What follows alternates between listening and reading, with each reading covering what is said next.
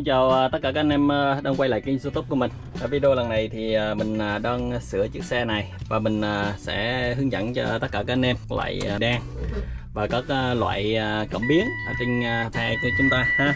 Đây là những con cẩm cảm biến của cái xe Cảm biến bấu áp suất hơi và cảm biến ờ, đây là cảm biến ờ, bao tháng, ha. Và đây là cảm biến ờ, bao bấu áp suất hơi luôn này. Đấy, thì video lần này thì mình sẽ hướng dẫn cho tất cả các anh em các loại cảm biến này nó nằm ở vị trí nào, ha.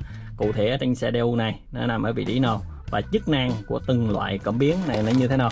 Giả sử như các anh em mình mà thay cảm biến chúng ta mà thay không đúng chủng loại thì đồng hồ chúng ta vẫn không báo vẫn báo bị sai, ha thì à, những cái con cảm biến này thì các anh em mình cần thì hãy liên hệ với bên mình ha. 038 98 98 100 mình sẽ báo giá cho tất cả các anh em.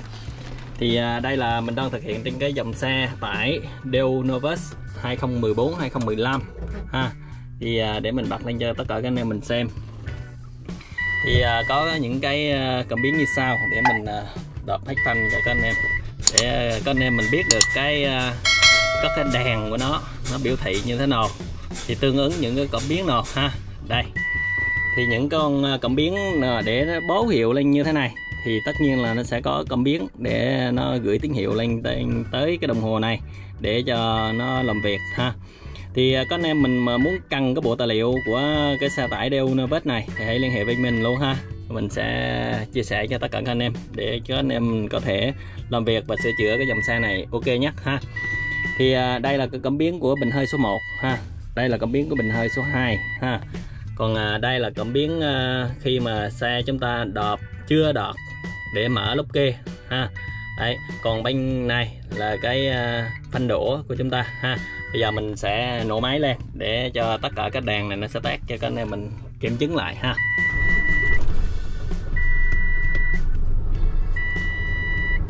Khi cái đèn này nó tắt ha cái đèn à, cái đèn mà có dấu chấm thân bên trong này, này mà nó tắt có nghĩa rằng là áp suất hơi chúng ta nó đã được 5,33 thì nó sẽ tác dụng vào con cảm biến và nó cái đèn này sẽ tắt cái cảm biến đó là cảm biến này các anh em 5,33 ha à. đây còn cảm biến à, con còn cảm biến này 5,33 thì xíu nữa mình sẽ chỉ cho tất cả các anh em cái vị trí của các cây cảm biến này nó như thế nào ha nó nằm ở tại vị trí nào? Thì bây giờ mình sẽ, để mình chỉ trên cái phần cabin trước, sau đó mình xuống thực tế dưới xe sau, thì có nên mình sẽ biết được ha. Nó dễ dàng ha. Đây là cảm biến ờ, của ờ, áp suất bình số 1 áp suất bình số 2 hiện tại là hai bình nó chưa đủ, cho nên nó sẽ chưa tác ha. Để mình đập hơi, nó sẽ lên nó đủ và nó, có nên mình ờ, sẽ, nó sẽ tác cái đèn này cho các anh em ha.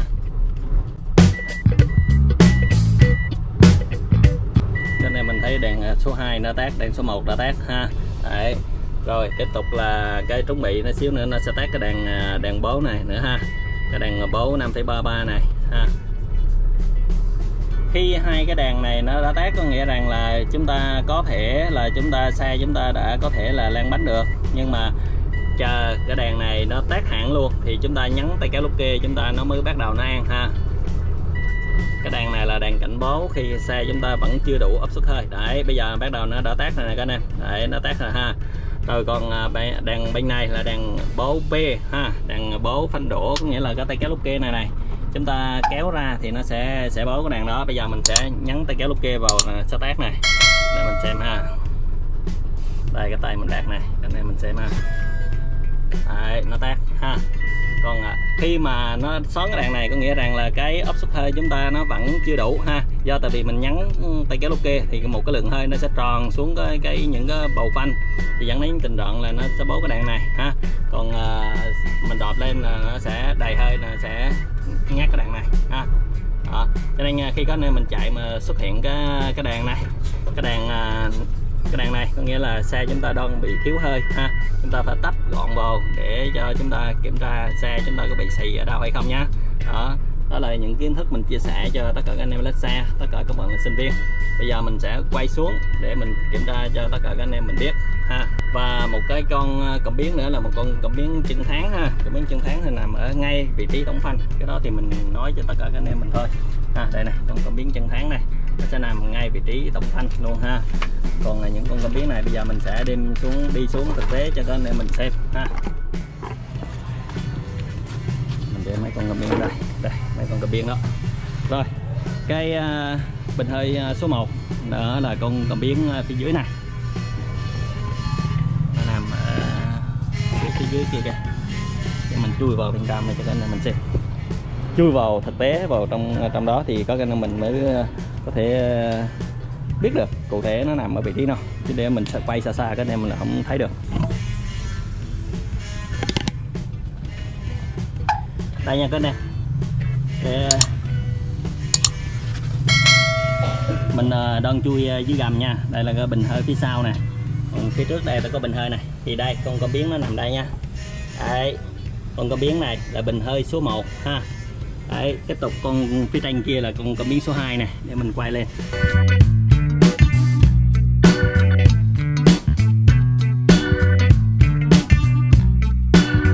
Rồi, đây đây là con cảm biến của bình hơi số 2 bên đây mình thấy không? Đó, nó có cái giác dây điện đi vào này. Đây, nha. Đó. Cảm biến bình hơi số 2 nó sẽ gắn trên cái à, bầu hơi này, ha. Đây, bầu hơi này.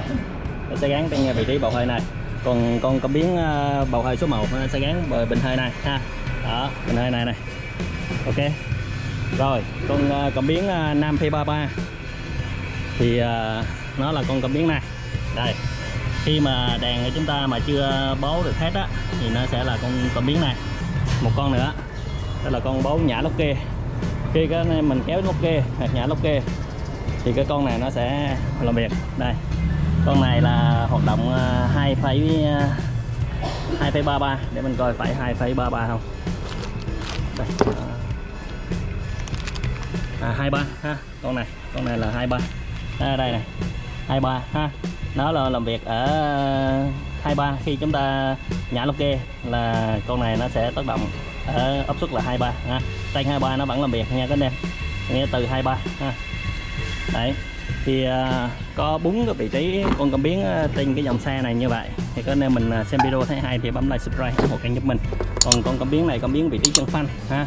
Con cảm biến vị trí chân phanh.